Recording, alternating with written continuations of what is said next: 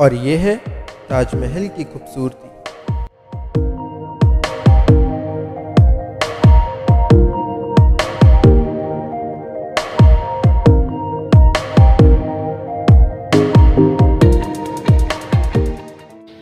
Hello friends welcome once again आज की इस नई वीडियो में आप सभी का स्वागत है और हम आप सबका शुक्रिया करना चाहेंगे। आपने हमारी पिछली वीडियोस को, लखनऊ की सभी वीडियोस को बहुत सारा प्यार दिया और इसी तरह प्यार देते रहिए।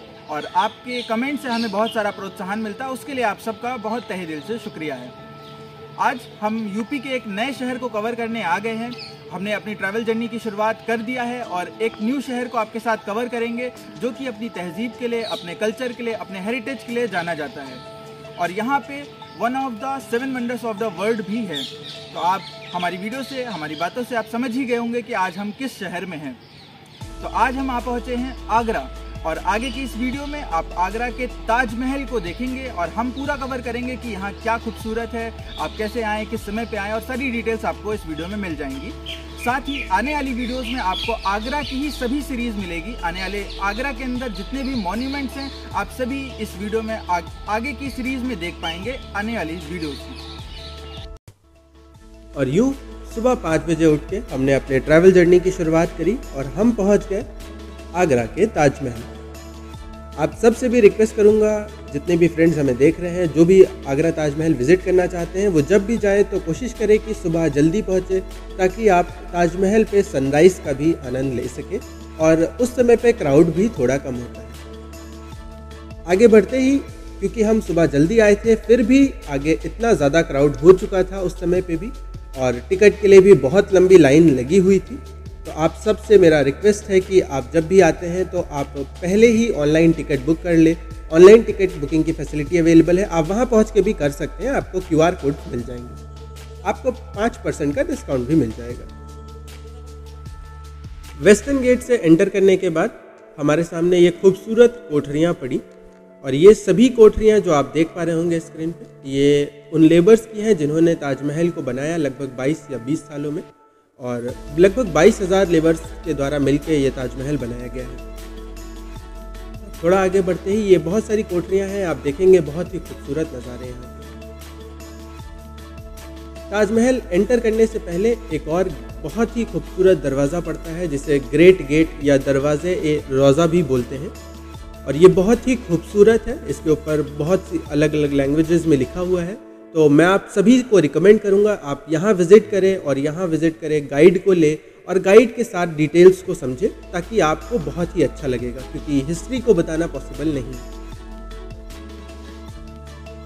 और यह है ताजमहल का सबसे पहला नज़ारा, जिसकी खूबसूरती को शब्दों में बयान नहीं किया जा सकता। ताजमहल 1653 में बन के कंप्लीट हुआ है और यहाँ पर 16 गार्डन और तिरपन फाउंटेन्स भी हैं। और सबसे ज़्यादा शॉकिंग बात यह है, जब हमारे गाइड ने हमें बताया कि ये सभी फाउंटेन्स उस समय पे भी चला करते थे जब मोटर्स नहीं होती थी।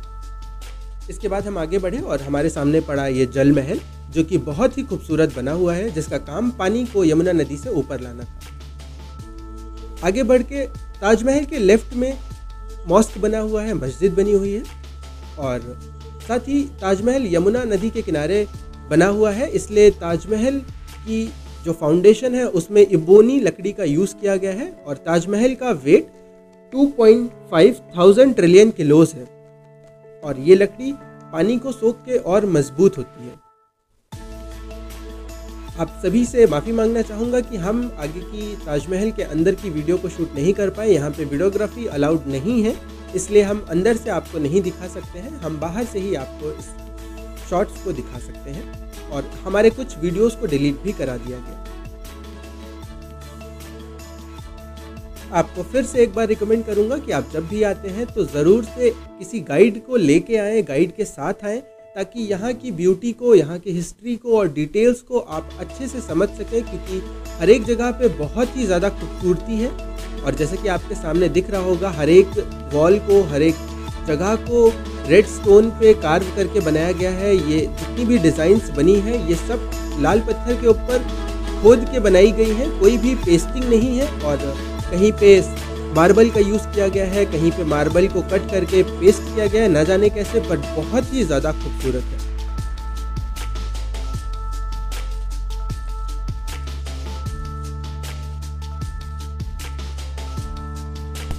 यहाँ की दीवारों पर डिटेलिंग्स बहुत ही ज़्यादा खूबसूरत है, बहुत ही ज़्यादा शार्पनेस है, जिसे आजकल की आधुनिक टेक्नोलॉजी के साथ, बहुत से वर्कर्स के साथ भी बनाना शायद मुश्किल और असंभव सा है। तो चलिए दोस्तों, मिलते हैं आपसे अगली वीडियो में। आगरा की एक और नई जगह को कवर करेंगे। तब तक के लिए आप इस वीडियो को लाइक करें शेयर करें और कमेंट करना ना भूलें। और चैनल को ज़रूर से सब्सक्राइब करें।